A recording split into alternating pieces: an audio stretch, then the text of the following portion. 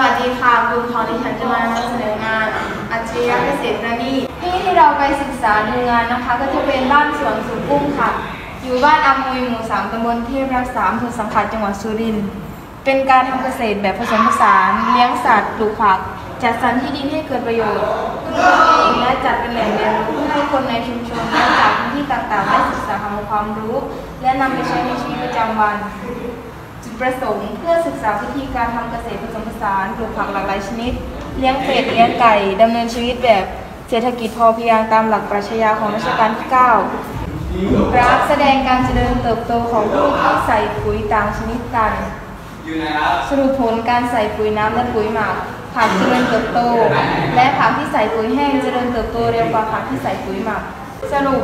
การศึกษาในครั้งนี้สามารถนำไปใช้ในชีวิตประจำวันได้ เช่น การพึ่งตนเอง